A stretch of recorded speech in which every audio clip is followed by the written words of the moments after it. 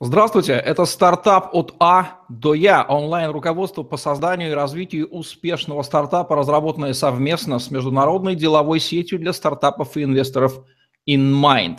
InMind объединяет профессионалов в области инноваций, помогает стартапам найти инвестора, ментора или эксперта, дает инструменты и ресурсы для роста и развития инновационных стартапов, помогает инвесторам с экспертизой проектов и due diligence. Я Евгений Романенко, сайт Sales.ru – и наш спикер сегодня эксперт по системным продажам Антон Берсерка. Антон, приветствую вас. А, добрый день, Евгений. Добрый день, уважаемые коллеги, уважаемые зрители. Рад вас всех приветствовать. Сегодня будет очень круто, будет интересно.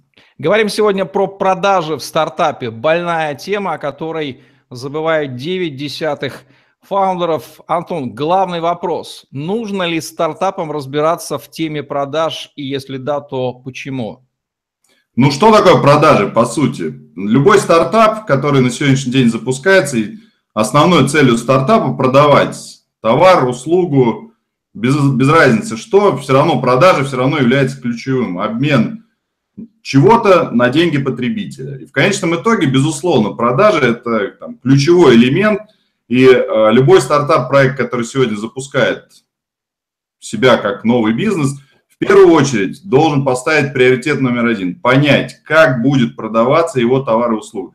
Какая будет стратегия, какая будет схема, как будет осуществляться взаимодействие с потребителем. И когда вот эта стратегия, схема есть, то стартап что начинает делать? Он начинает быстро расти, поэтапно, быстро набирать клиентскую базу и тем самым наращивать оборот, тем самым реализовывать те цели и задачи, которые любой уважающий себя стартап ставит перед собой. А именно это рост продаж, рост показателей, рост оборотов, рост прибыли в конечном итоге. Вот именно для этого стартап и должен озадачиться вопросом, как я сегодня буду продавать свой продукт, свою услугу конечному потребителю. Как я его найду и как я ему в конечном итоге продам этот товар и услугу. Нужно ли основателю стартапа иметь навыки продаж или ему удастся безболезненно проскочить без их знания и как-то там кого-то привлечь, как-то там кому-то что-то продать? Ну, я всегда говорю, там, любая, там, любой бизнес – это в первую очередь делегирование. А, если мы говорим про стартап, когда вот все только-только там созревает, начинает работать, то, безусловно, если собственник, если тот, кто стоит во главе, будет понимать, как организован принцип продаж, как на сегодняшний день осуществляется взаимодействие продавца и покупателя – это будет гораздо лучше, чем, например, если этих знаний нет. Но если знаний нет в голове, если на сегодняшний день там, ну, всякое возможно, там, инновационные, особенно стартапы, где во главе стоят люди, обладающие какими-то знаниями, а вот навыка продаж нет, это тоже, по сути, не проблема. Главное сегодня озадачиться в первую очередь поиском специалиста, который возглавит систему продаж внутри бизнеса. То есть, на самом деле, чтобы стартап сегодня мог безболезненно обойтись без самостоятельного да, владения технологиями продаж, достаточно отработать навык поиска того, кто будет заниматься внутри бизнеса там, продажами, организацией, формированием клиентской базы. И здесь, в принципе, это тоже выход из ситуации с точки зрения делегирования. Поэтому, если знания есть, отлично. Это удвоит результаты, удвоит контроль, удвоит, в принципе, понимание того, что вообще происходит внутри бизнеса. Если знаний нет, не проблема, просто надо концентрироваться на поиске специалиста, который сегодня возглавит продажи внутри вот стартапа, внутри нового бизнеса. В век развития интернета неплохо бы понимать разницу между офлайн продажами, где традиционно участвует человек, и онлайн продажами, где часть человека вырезается и заменяется технологией, а в некоторых случаях только технологией, без человека продажа осуществляется. В чем глобальное различие между офлайн и онлайн продажами, Антон? А, ну вот э, офлайн продажи это где вот участие человека есть, где есть звонки, встречи, выезды, а, картинки, тексты можно заменить живым человеком. То есть вот э, обучая там, ну, профессионально тренируя специалистов по продажам в традиционном виде бизнеса, да, то есть обучаешь их улыбаться, смеяться, жестикулировать. То есть когда есть прямой контакт с клиентом, неважно, не слышит клиент нас или видит клиент, мы можем добавить эмоции, мы можем всегда скорректировать какую-то логику, да, мы можем всегда видоизменить, поменять что-то в голове клиента, потому что мы напрямую с ним общаемся. Это вот основной принцип, да, офлайн продаж. Когда мы говорим про онлайн продажи, там шансов там вот шанс один. Правильно написанный текст, правильно подобранная картинка, правильно визуализированное какое-то действие в виде видеоконтента, либо в виде какой-то там динамичной графики, 3D, прочее. Вот этим и отличается то, что в офлайн продажах, в принципе, в традиционном бизнесе человек может менять картинку. В любую минуту, в любую секунду мы влияем на человека. То в онлайн продажах нужно изначально очень внимательно отнестись к тому, что видит клиент в конечном итоге, что слышит клиент, и что клиент понимает из того, что написано. Поэтому онлайн – это, конечно же, концентрация на текстах, это концентрация на выверенность, это правильное соответствие ожиданиям. То есть это очень глубокий анализ нужно, безусловно, делать с той стороны. Нужно разбираться, что же хочет клиент услышать, увидеть. И вот когда это все преобразуется в тексты правильные, в картинки, безусловно, да, там рост продаж всегда наблюдается достаточно там активно. Поэтому разница в чем? В одном случае есть человек, в другом случае человека нет. И нужно заменить человека путем какого-то создания правильного контента, правильно подобранного контента, который вместо человека объяснит потенциальному потребителю там, ту выгоду, ту пользу, которую несет продукт или услуга. У меня есть гипотеза, что офлайн продажи – это продажи для экстравертов, которым нравится общаться с людьми, а онлайн продажи – это продажи для интровертов, которым не нравится общаться с людьми, и они прячутся иногда очень Им нужна ширмочка, ширмочка. За интернетом, да-да-да. Все упирается да, все правильно так и есть. Психология. Принципы выстраивания стратегии продаж базовые каковы? Создание отдела продаж – это раз. Любой бизнес, который на сегодняшний день хочет процветать, он должен создать отдел продаж. И этот отдел продаж должен быть не номинальным, да, с точки зрения, очень часто собственники что делают? Они говорят, я буду руководителем отдела продаж, я нанимаю под себя менеджеров. Это неправильно. Правильная стратегия – это когда собственник бизнеса понимает, что он не сможет управлять продажами, у него нет на это времени, у него будет стратегия, бухгалтерия, куча взаимодействия контрагентов, там вопросов тьма. Поэтому всегда нужно начинать стратегию с понимания того, что нужен руководитель отдела продаж. И под руководителя отдела продаж уже набирается менеджер по продажам. Другое дело, что руководитель отдела продаж может быть изначально полевым игроком, то есть продающим менеджером. Можно брать менеджера и выращивать из него руководителя. Но правильная стратегия – это всегда делеги... вот это разделение этого функционала.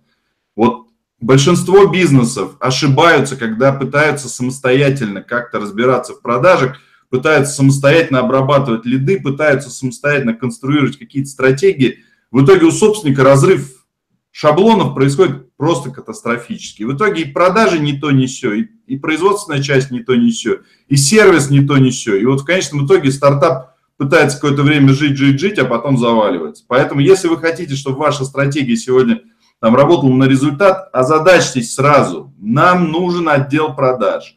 Начните со строительства. Это тоже непросто, но и не сложно. Когда вы начнете об этом думать, вы сразу начнете собирать информацию, вы сразу ее уже как начнете для себя там акцентированно да, развивать эту идею. И когда у вас отдел продаж заработает, когда вы его настроите, темпы, вот это и будет система управления продажами, система развития продаж. То есть я всегда говорю, стратегия начинается от простого – нам нужен отдел продаж. И вот когда эта мысль у вас в голове посеется, у вас сразу все начнет прогрессировать, сразу все начнет развиваться. Если проводить различия между продажами в традиционном бизнесе и продажами в стартапах, особенно если речь идет об инновационных продуктах, какая между ними будет разница? А, инновационный продукт – это зачастую производство продукта или услуги, который а, еще не совсем понятен конечному потребителю. Да, то есть вот что такое инновация? Это что-то новое. И для того, чтобы эта инновация стала понятным конечному потребителю, особое внимание нужно сконцентрироваться на двух вещах. Анализ рынка потенциального, раз.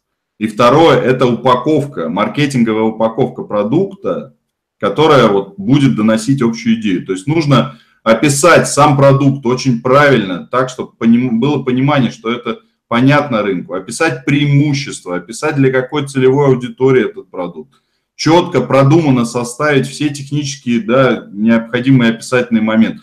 То есть это вот, инновационный продукт, это значит детальная проработка вот этой упаковки, это детальный анализ, а вообще кому нужен этот продукт. да, то есть нужно четко вот сформировать вот эту модель, маркетинговую модель, да, вот продвижения этого продукта, и тогда вот инновационный продукт начинает активно действительно развиваться. Традиционном бизнесе, когда мы говорим ну, о, о чем-то типовом, то э, вопрос тут стоит, скорее всего, в выстраивании качественного э, процесса взаимодействия продавца с покупателем. Потому что все достаточно типовое, отработанное, лиды входят, клиенты приходят, и тут самое главное – сконцентрироваться на качестве работы отдела продаж, на качестве работы продавцов, на вот взаимодействии с клиентом.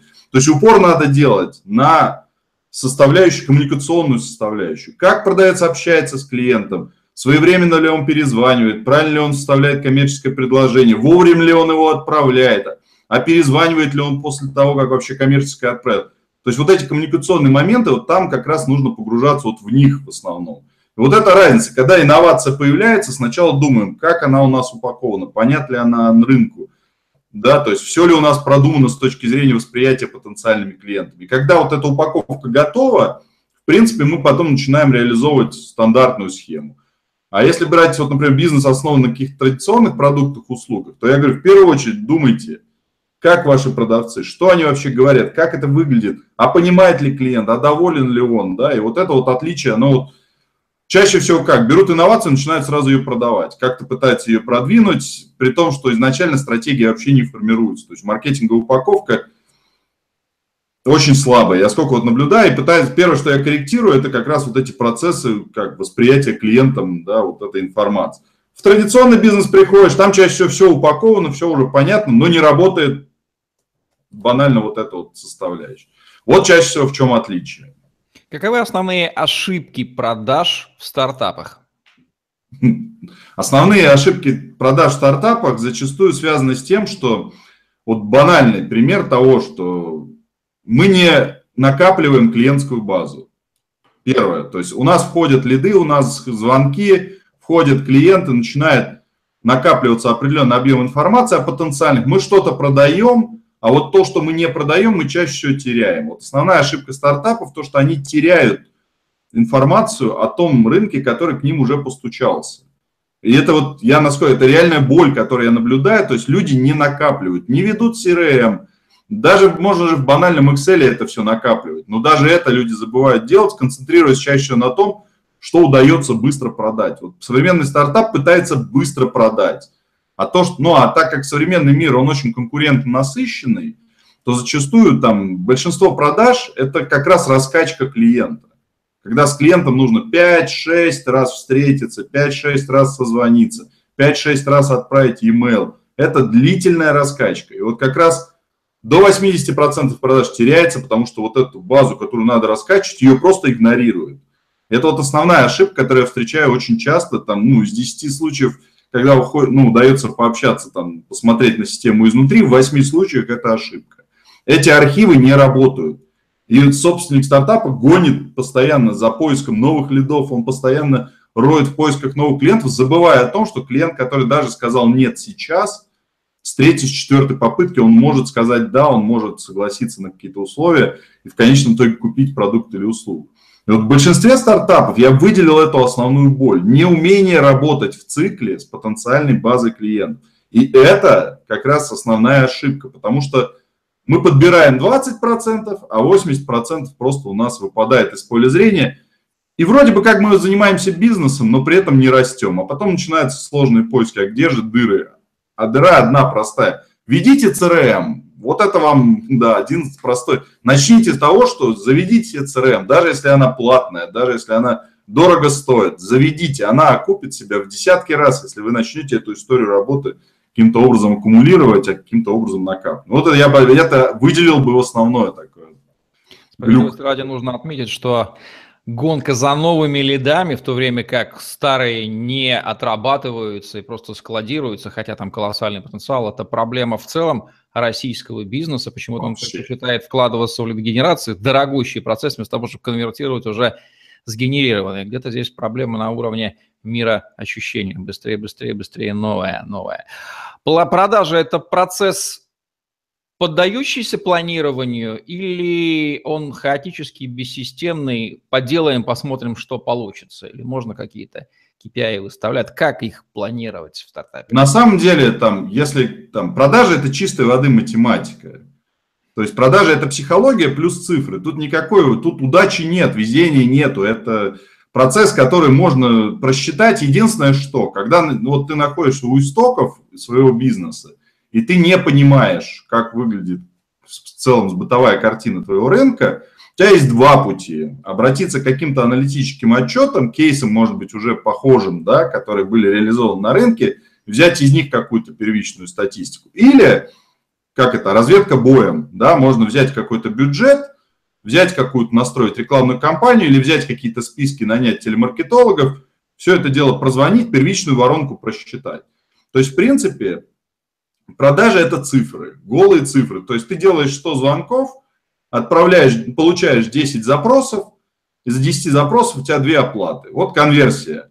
В онлайне все то же самое. Настроил Яндекс Директ, там, если ты... Вот тут проблема другой, правильно ли... Хороший ли у тебя директолог? Да, то тут тоже может быть глюк. Но на самом деле, ладно, если мы возьмем идеальную картину, когда твоя рекламная кампания настроена, вошло 60 лидов, получили 15 там э, обращений целевых, сделали коммерческие, продали там 3. То есть, в принципе, тестировать надо. Но то, что здесь никакого волшебства нет, это, это точно. Нужна просто первичная статистика, на основе которой можно сделать какие-то выводы статистические, и потом эти выводы заложить уже в основную систему продаж. Когда ты уже говоришь менеджеру, Твоя цель для того, чтобы продать две, там, сделать две продажи, нужно сделать 100 звонков. Он говорит, почему? Потому что из 100 звонков у тебя будет 10 заявок, будет две продажи.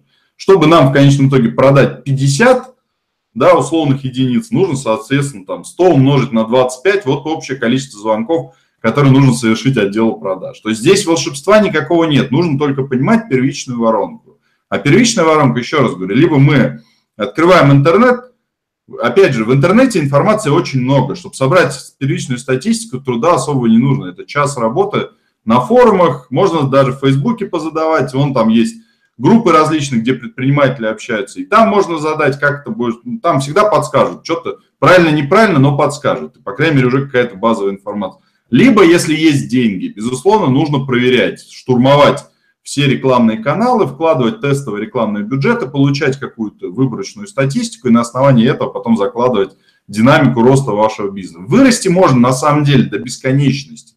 Главное правильно высчитывать все вот эти соотношения. Сколько информации нужно проработать, чтобы получить одного клиента. Если вот эту вы цифру будете знать, вы можете заложить развитие вашего бизнеса просто до бесконечности. Это действительно так. Любой бизнес может стать э, максимально там великим, да, в объемах товара. Правильно, главное, правильно расчет вот этих там, математических формул. Ничего больше, волшебства никакого в продажах нету, есть банально, есть только голая статистика. Есть такое выражение, не важно, что ты думаешь о рынке, да, важно, что, важно, что о нем, какая о нем есть статистика. Все, вот твои мысли о том, как из себя рынок, что из себя представляет рынок, они вообще бесполезны. Главное статистика. Цифры, цифры, еще раз цифры. И они как раз помогают двигаться и развиваться. Дополним, что эта статистика накапливается в пресловутой CRM, то есть это недорогущее решение, а да, просто абсолютно. тот коллектор статистики, который позволяет эти цифры видеть. Вот такие вот рекомендации от эксперта по системным продажам Антона Берсерка в программе «Стартап от А до Я» онлайн-руководстве по созданию и развитию успешного стартапа, разработанного совместно с международной деловой сетью для стартапов и инвесторов InMind. В следующем выпуске мы подробнее рассмотрим, из чего складывается система продаж в стартапе. Это словосочетание нуждается в отдельной расшифровке, именно поэтому отдельный выпуск ему и будет посвящен. Евгений Романенко и Антон Глюсерк были с вами. Ставьте лайк, подписывайтесь на наш YouTube-канал, смотрите другие выпуски программы «Стартап от А до Я». Делайте успешный стартап. Всем пока. Пока-пока.